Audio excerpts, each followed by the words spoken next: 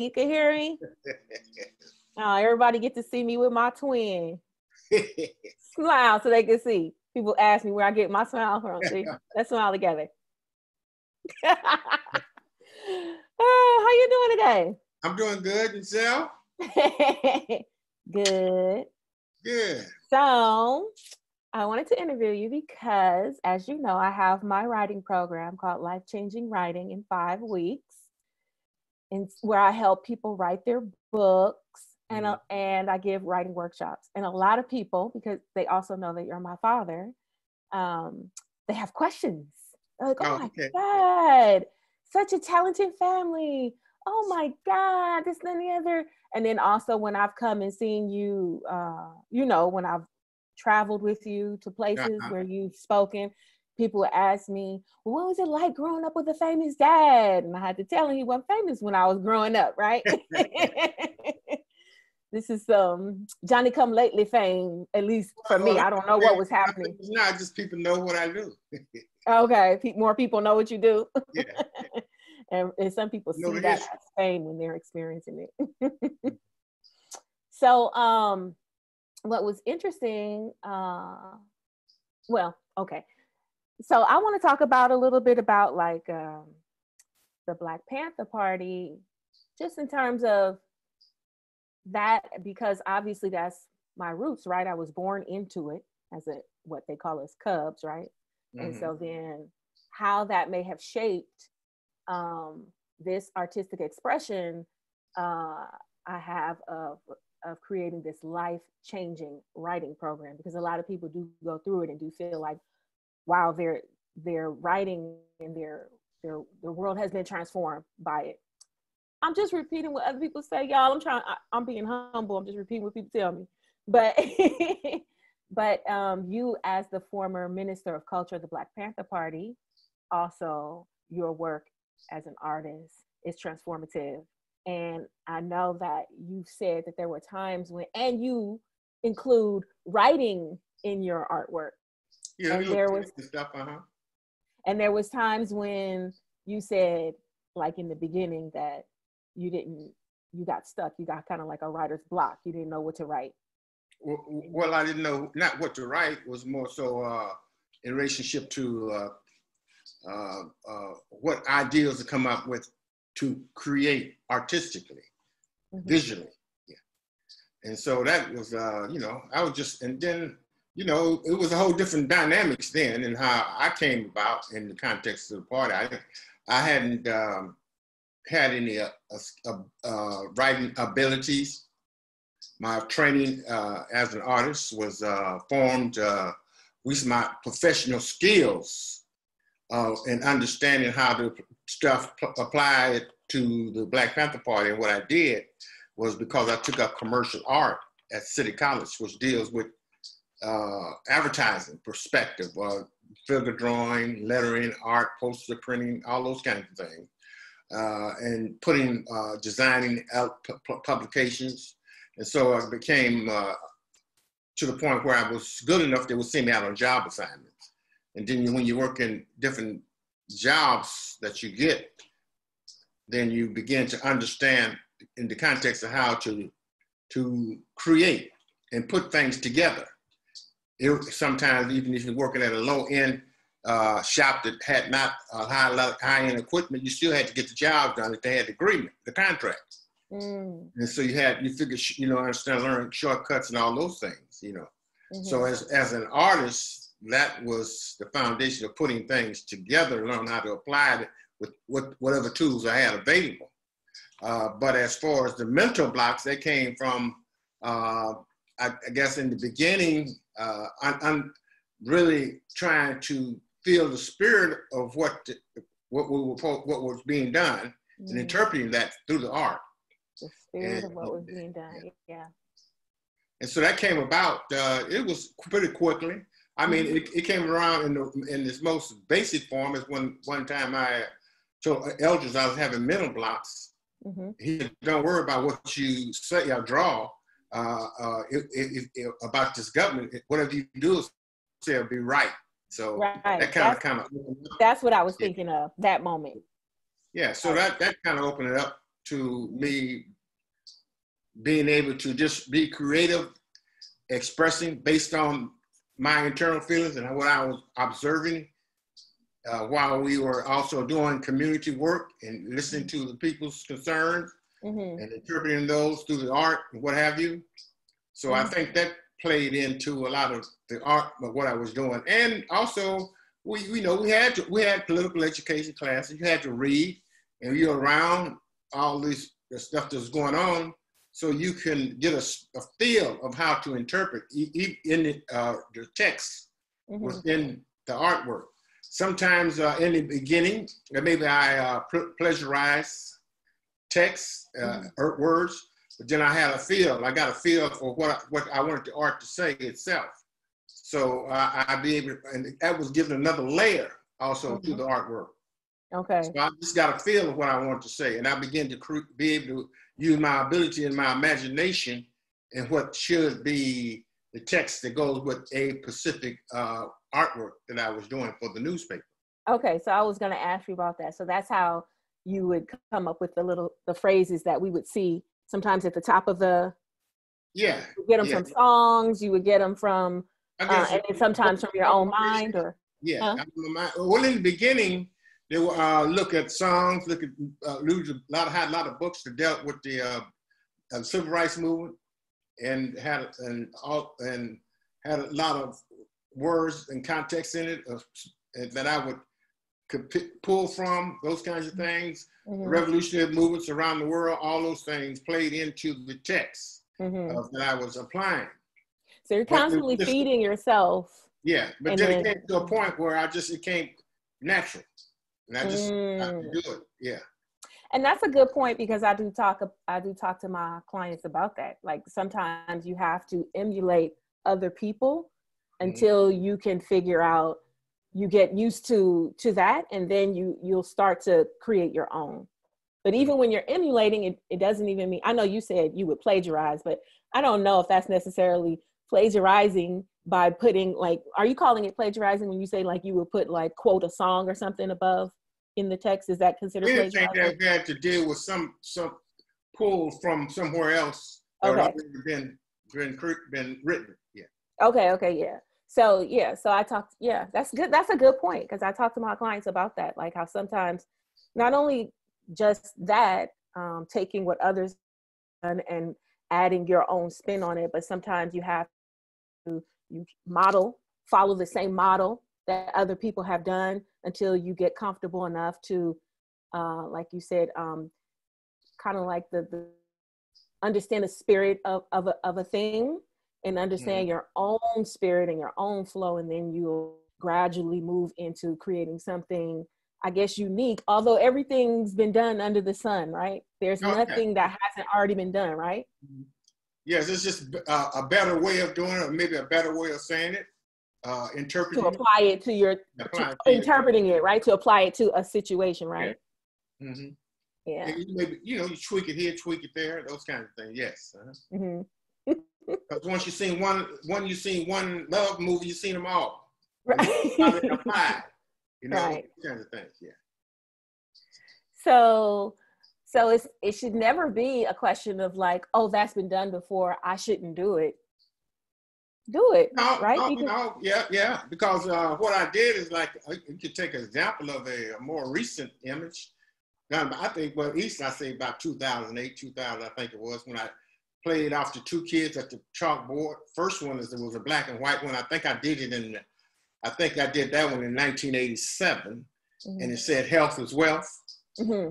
Yeah, and then I remixed it again, and I, I, did that in 1987 with the little boy at the chalkboard and the girl sitting in the chair.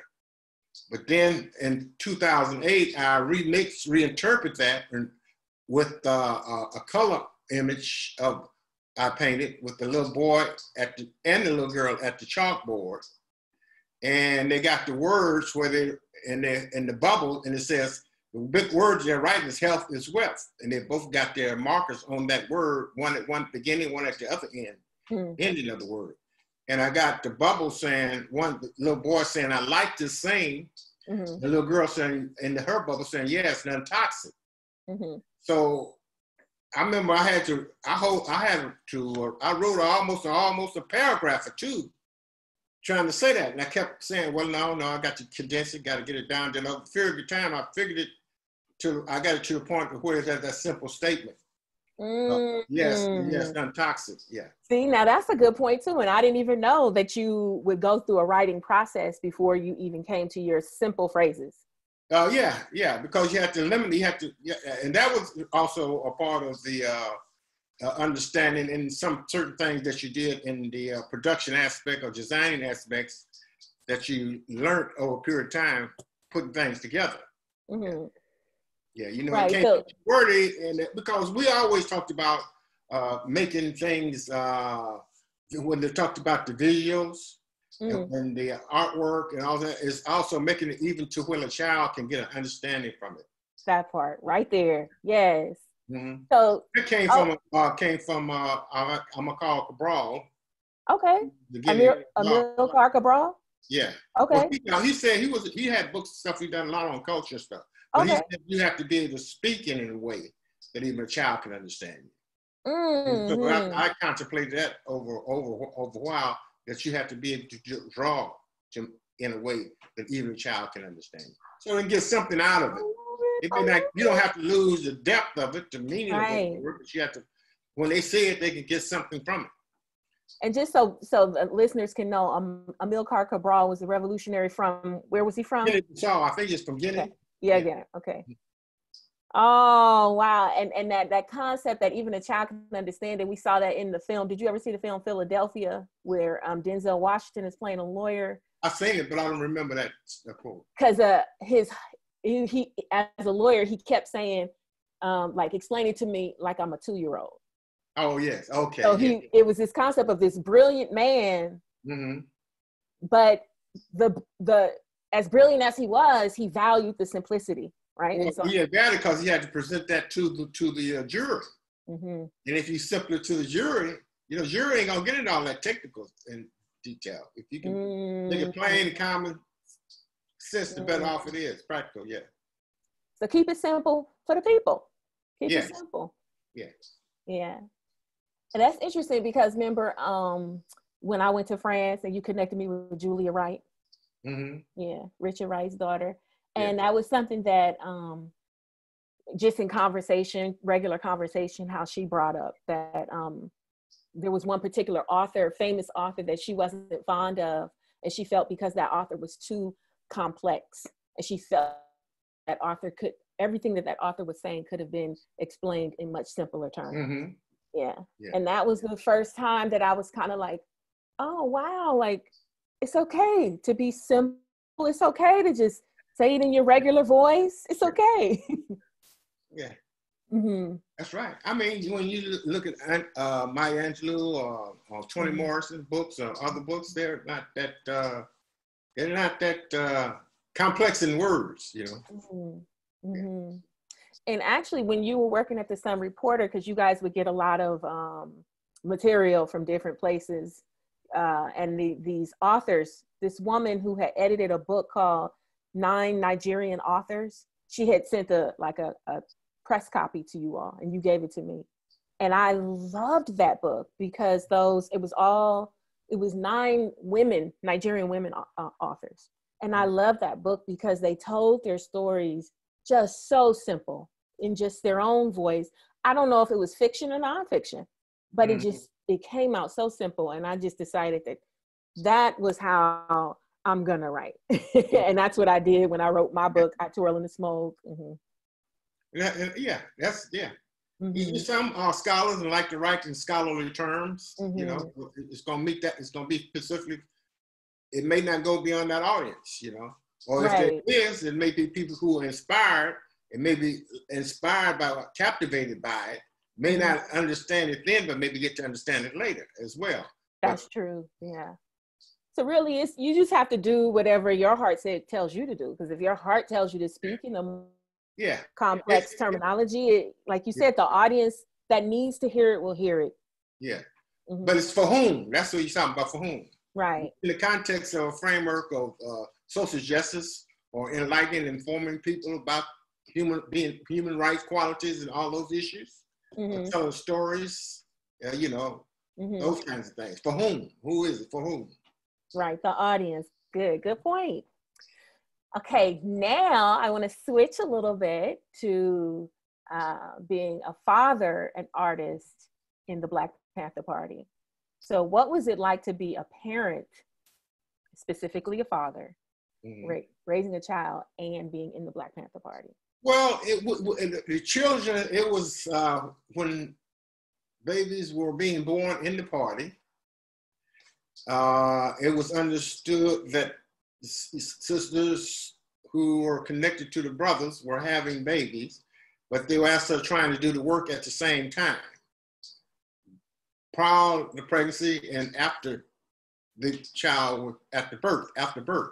Mm-hmm. So we had discussions and meetings how, in particularly, that the mother had to nurse the babies, take care of the babies, answer the phones, all those things. So it became understanding that the child's were child's everybody in the parties were like the the parents. Like a communal, a communal concept of yeah. So that's why uh, became Panthers. Brothers had to take care of the children change diapers, do all those things as well, along with sisters. You got mm. Sister Abacha, who's a radio personality. Yeah, she had mentioned that that's the first time she had ever seen brothers holding, taking care of the babies. Mm. That, that, that wasn't really a, a common thing on a broad scale mm-hmm. during that time. You see, and so it, it, she she always mentions that from time to time. Mm-hmm. Uh, so that was a part of the uh, the process in the party of tender loving care by everyone of the kids. Mm-hmm. And I remember you were at the child care center when we started our child care center, mm-hmm. and I used to, brother used to run it. Name was Anthony Ware, mm-hmm. who was who from the Seattle chapter who came down here to do some work. And uh, we used to come by, and I got a couple of photographs where you was laying on the ground playing with a little ball and what have you mm-hmm. check on in between doing the work and those kinds of things. Mm-hmm. mm-hmm. So, so, and so the children were the collective of everybody. Mm-hmm. Whatever chapter and branch you had, the children were the children of of everybody in the Black Panther. Mm-hmm. Yeah. yeah. And I know that that was a kind of experimental. It kind of came out of a need, right? Like you said. Oh yeah, yeah. For having kids, and it's like, oh, we got to do something. We got to figure out how to. yeah. yeah, because you knew it was going to be, and those needs, everything always came out of needs, out of mm-hmm. growth and development, in relationship to making sure that things ran could run as smoothly as possible. Yeah. In harmony. Yeah. Yeah.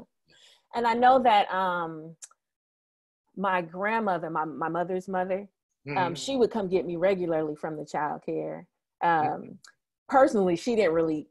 She loved the party, and she she would always tell me like, you know, you see those boys standing on the corner. If the party was around, they wouldn't be standing on the corner. They'd have something to do. They'd be selling papers. They'd be doing this. They'd be doing that. And she loved the party, but she she wasn't very fond of the the communal childcare situation. So she made it a point to come get me every as often as she could, so that I could get individual attention. Yeah. Well, you know, you have to understand that uh, whether it, was, it seeps into the mind in this society of the, uh, the exceptionalism, individualism, mm-hmm. instead of the collective spirit. Yeah. That collective spirit is uh, something, communal spirit is yeah. about survival and coming together. And of yeah. course, um, people do that, but at the same time, this, this, the system is not engaging people in that context. Mm-hmm. And that's very much needed right now, you know. Yeah. Maybe I'm glad I'm glad I, I'm glad she came and got me though. I needed that yeah, yeah. attention. So I'm glad I'm, that she did not, that. It's not I'm I'm not talking about the the the the, the, uh, the uh as being a bad thing. I'm just talking oh. in the context of how you know in, yeah. in the context of what it was. Yeah. Right. I mean, communal care, obviously, yeah, like traditionally, that's what we come from, right? In, mm-hmm. indigenous, mm-hmm. African, all all indigenous groups around the world have like a communal yeah. concept, and it it helps to really, mm-hmm. um, like uh, I remember reading uh, this book by by uh, Dr. Fu-Kiau called The Babysitter. He was like a he's a Congolese uh, he, he writes a lot about Congolese cosmology, and he talked about just how important the babysitter is in society. He said, you know, as for teenagers, it helps them to learn responsibility for, for when they're ready to have a, a child. For grandparents, it helps them to have a per- sense of purpose in life. Mm-hmm. And it lets the parents still have children, but still participate in life. Mm-hmm. And he said that, that the babysitter is so important that there should be a monument made to the babysitter. And mm-hmm. so like that to me is is that same concept. Yeah, like everybody yeah. was the babysitter to help. Mm-hmm. Yeah, go ahead. Well, see, your your grandmother probably didn't realize that well, she was being part of the communal support. Mm-hmm. By the very fact that she was coming to get you to take care of you as well, but knowing you were going to come back to there, so it was whether she looked at it in that context. That's what was actually taking place. Mm. She was being supportive. So part of it. She, okay, I see. Yeah. Mm-hmm. Yeah. Okay, so it's not like she was she was still being a part of it and being supportive. She was helping with yeah. it. We just yeah, just probably needed more people. The yeah, more people who could do it, the better, right? been taking that term because we did conditioned. Yeah. You got habits and how you think of things. Mm-hmm. You're doing them for a different purpose, different reason. It may be uh, you like or dislike that you're doing mm-hmm. it, but you're still doing it. Mm-hmm. And so mm-hmm. you, you you're in, in, in, you're in a part of it. Mm-hmm. Mm-hmm. So maybe you will come to understand it and appreciate it at you know at some point. Yeah. And then um, there was a there was one time you you said uh, this is shifting slightly, but it always stood with me. Uh, it's about uh, sometime I think the police came to an apartment and they just missed you. There was a raid or something, they just missed you. And the way you said it to me, you was like, you almost weren't born. Do you remember that? you almost wasn't born. They had just missed me. Like either you had just left. Quite a few, but it's quite a few, yes. So I'm just curious if you wanted to talk about. Well, I'm trying to think which one it is. And I can't think of one. There oh. yeah. Well, how, well, how was that too, though? To to to know since it was quite a few. Not only are you well, I, I um, but you're a parent. Yeah, you I had two kids because I have an older brother. Mm-hmm. Well, I think might have been older... they, I think that that might have might have been one where they came to when I was living uh, in a collective house that a pastor sister had baby was able to rent at around in the uh, off the lake area mm. in that area and uh, I remember that day, I think it was a Saturday. Big, it was hundreds of complex, apartment buildings in the, uh, apartments in the complex. Okay. And uh, I remember when I went out the door that day, I looked across the hall. There was a white guy. You know, I always assumed that might be the police or somebody else. But I said, well, it could be, could be just somebody who lived there. Mm-hmm. You know, and it's because he just he looked. He didn't say anything. It, it, wasn't no hostile look, anything like that. Mm. So I went to the store and I came back about five or six. And I, at the end of the hall was a door where you go down and put the garbage in. So I seen him down there and he was putting a door, a rock in the door. Mm. So I thought he was putting a rock in the door. So I just, to me, it's just like putting a rock in the door to maybe so he can get back in when he go downstairs where the trash and stuff was. Mm. So I mm. didn't play no mind. But that evening, about midnight, I was in the bed, and all of a sudden, I hear the keys and trying to get into the door, and they can't get in. I call and I said, "Who is it?" And they, oh, and I'm saying, "Who is it?" And they said, "It's it's the police." The police opened up the door, mm. and when I opened up the door, it was about one layer down here with guns, other layer up here with guns, another layer up here with guns, mm-hmm.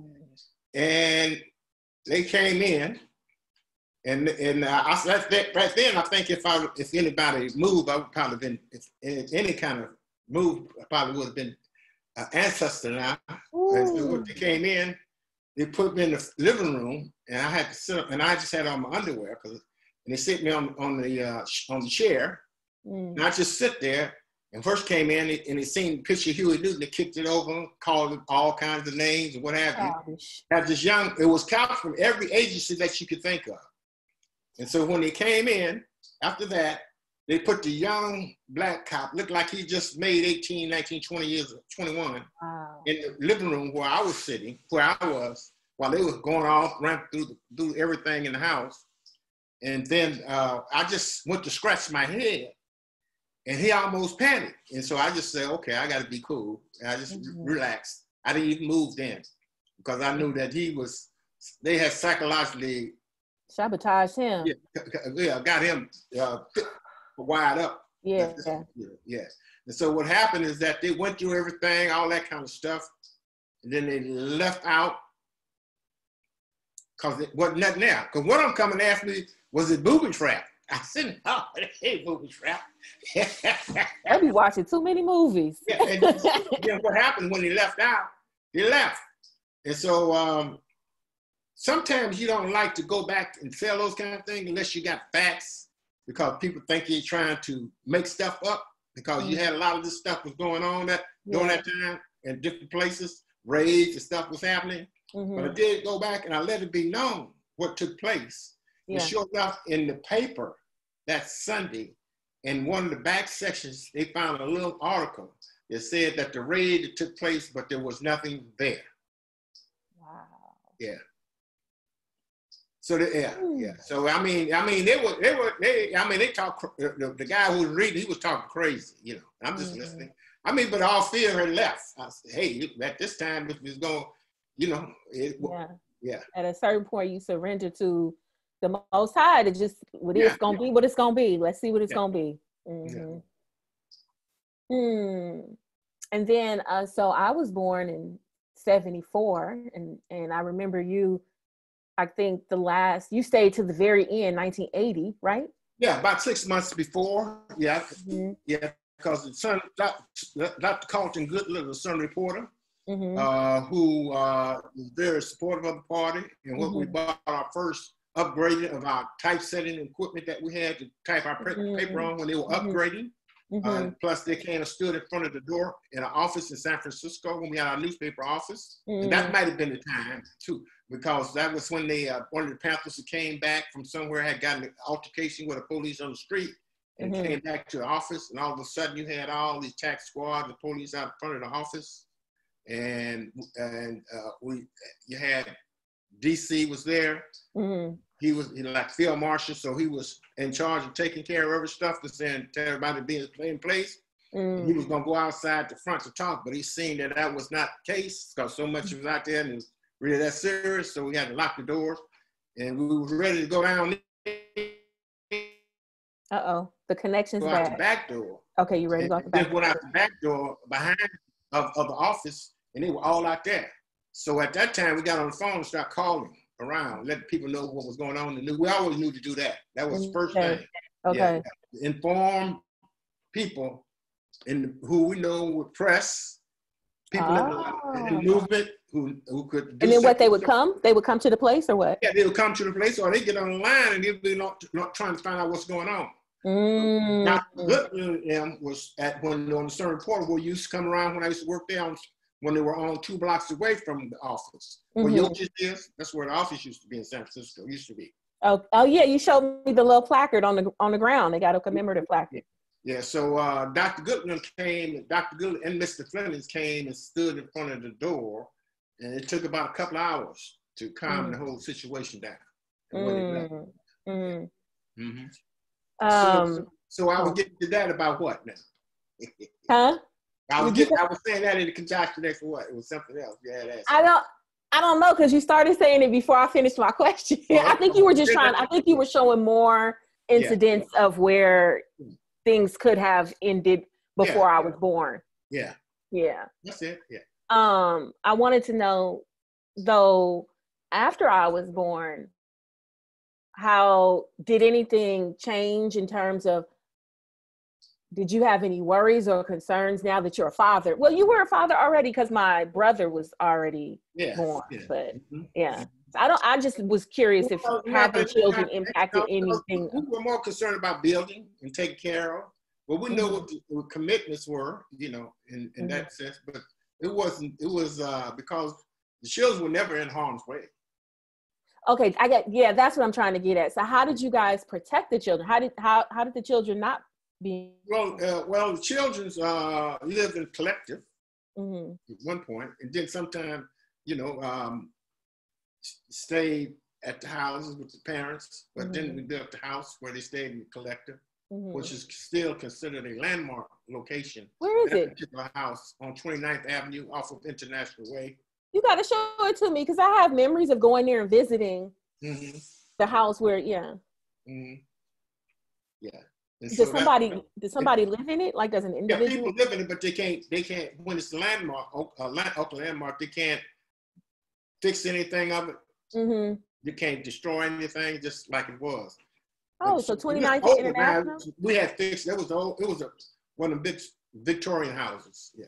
I remember. I remember going there with my mom and visiting, and you know, I think uh, I had a little best friend. You drew that picture. Um, Natalie was my little best friend, yeah. and she had an mm-hmm. auntie who was a teenager, and she lived yeah. in that. And mother, that mother was Panther. Yeah, her mother, and I think her her mother had a sister who was a teenager, so she seemed like she was Natalie's yeah, sister. Yes. So she lived in that that communal housing is what I, I remember that. Mm-hmm. Yeah. And then we had communal house, houses where they may have stayed when we were putting that house together. Got that uh, got that land in that house mm-hmm. especially for the kids. Okay. And, yeah, but before that, maybe maybe stay with in collectives, different collectives together. Okay. And okay. then also stayed at the houses where we stayed at, at, at as well. Yeah. yeah. Yeah.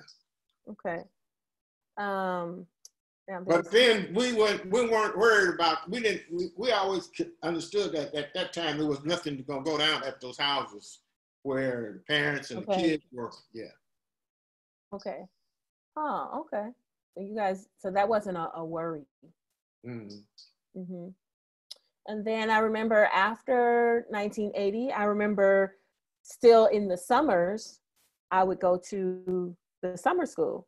The open yeah. community still had a summer school. Right. Yeah, yeah, yeah. They have summer. a couple of years, I would do that. Yeah, yeah. You had kids from other schools and stuff would come in mm-hmm. and be a part of the summer program. Mm-hmm. mm-hmm. As long, yeah.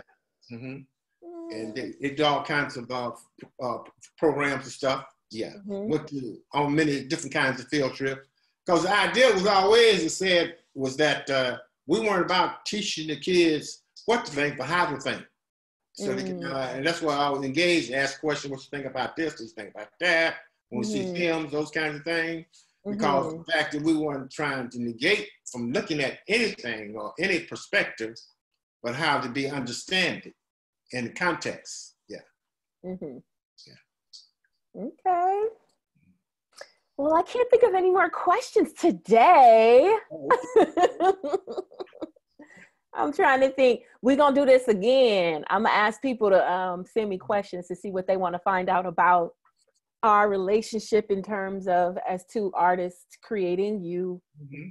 this and me Mm-hmm. I'm continuing to write and continuing to coach people. Well, you've been inspired by it, being inspired by it, being inspired with, but one finds their own way on how they want to do things themselves. And in the case of yourself, that's what I've observed it, you know, mm-hmm. uh, over time of developing and observing and putting it into work to mm-hmm. lay the foundation for what you're doing mm-hmm. and, and continue to do. Yeah. and is it true? Did you manage the Lumpen? Somebody told me that you at one point you managed them. Well, yeah, well, yeah. Mm-hmm. It's it's a book out on that. It's a book that talks about that. Whole, whole. And it mentions you as managing them. Well, it mentions in the sense, yeah, I'm banishing them. Yes. Uh, you know, I was tell people who the Lumpens are. Everybody might not know who the Lumpens are. Well, it was uh, uh, Lumpen was a, a group, a singing group that sung popular songs, but put revolutionary li- lyrics to them, and they mm-hmm. also created songs themselves and they were uh, members of the Black, Black Panther Party. Uh, musicians and had yeah. a band, also had a band with them. Yeah. Mm-hmm. And some of them went on to sing Marvin Gaye, right? From a Marxist word, from the, the dregs of society, mm-hmm. the lowest. Mm-hmm. So in relationship to those who can't get a job, now don't want no job, ain't looking for no job, don't care about it, outside of society. Wow, yeah. Yeah, just don't, yeah.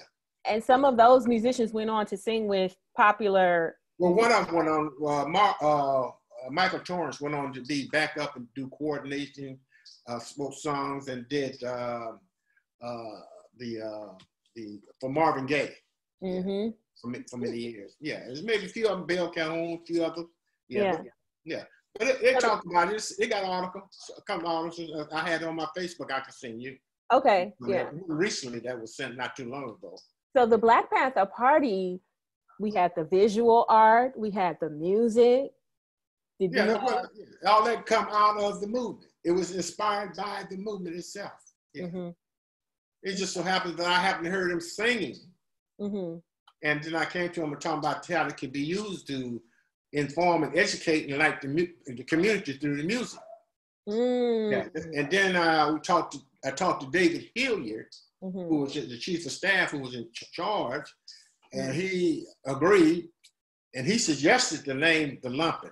Mm. So when, but what, but what happens because everybody in the party got different perspectives, come from different vantage points, different yeah. levels of consciousness, and that's all coming together. There was all sorts of challenges. So sometimes them didn't having to do the work, and in between that, being able to practice. Mm-hmm. Whereas when that was come to the point where they couldn't get to practice, they would come to me to ask to see if I could work it out, arrange it, and I would do that.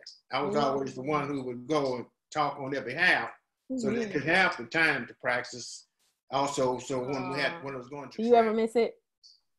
Well, it, it, you know what we we we elders now.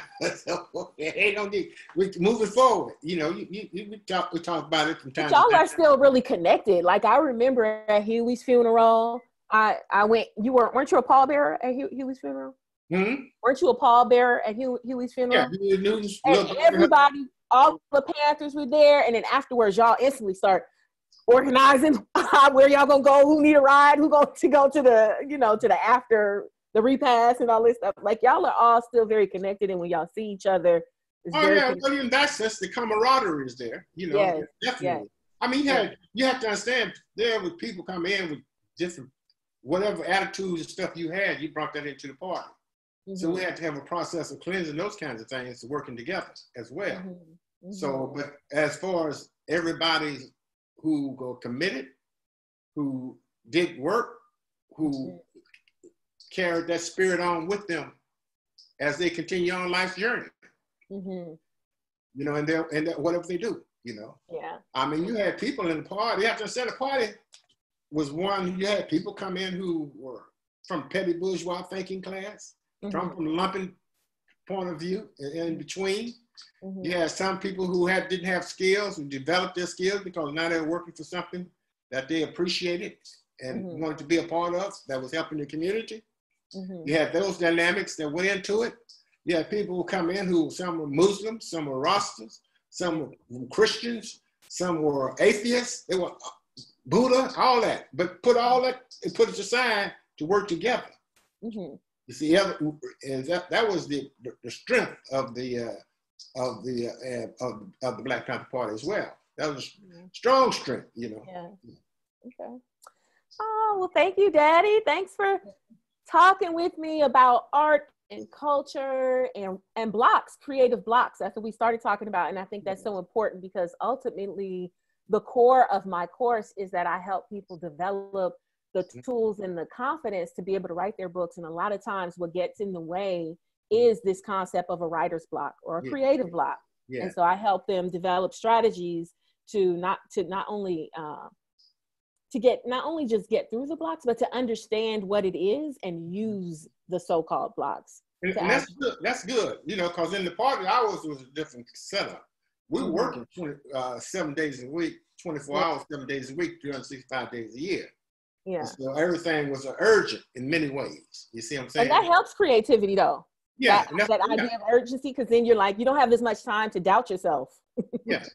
Yeah, and then you you know what you do, it may may not come out how you want it, but then you can evaluate it and improve it on the next work that you and do. that's important too that idea of you know get it done don't worry about being perfect just get it done and it'll mm-hmm. be better each time but you it won't be better it, it, yeah it, evaluate it or you, even if you want to put it to a side come back to it once you mm-hmm. feel that that you've got enough and you're ready to come back to it you know mm-hmm. I, I you know i put down stuff for, for almost 10, 15 years before I came back to it. That's a good point. Said, create a woman, I'll be do that, but I'm doing something else in between that, you know. That part too. That's what I want people to understand too. It's like yeah, I mean, you can put stuff to the side, it marinates or whatever, and you can still create while that's over there. You can still create. You can still do something for the short term and for the long term. Mm-hmm. Yeah. Right. Okay. And then also, real quick, you had mentioned about how you remix remix your own stuff, and mm-hmm. I think that that's important too. Like when we talked about how there's nothing new under the sun, and you were like, yeah, and how you remix your own stuff. I think that's important for people to yeah. understand too. Oh, once oh you yeah, yeah, that came about a lot of. Mm-hmm. But it comes from uh, when how the response feedback when people yeah. say, well, even a lot of youngsters when I do these talks and what have you, mm-hmm. Uh, they would say how you could just tweak something here in the art, or tweak something there from the art mm-hmm. in the 60s and 70s, and yeah. how it would be just like today. Yeah. So therefore, I, you know, I began to. You can I repurpose guess, it. Repurpose, yeah. Yeah. Mm-hmm. Yeah. And that that's something that you see actually. Uh, when when people contribute, contributors to um to um to magazines and you know um when they write articles, mm-hmm. uh, a lot of people repurpose their work and then send it to a different publication. Mm-hmm. Or you know, mm-hmm. you can rewrite a book that you have, and you can, like you said, tweak it, and you can rewrite it for a different audience. For yeah, whom? I, I, right? remix, I call it remixing. I remix. Mm-hmm. Yeah, yeah. Mm-hmm. All right, I think we did it today. But I'm gonna call you again. We're gonna do another one. Okay, sounds good. Thanks, Dad. Okay, you're welcome. Okay. Bye. Okay. okay.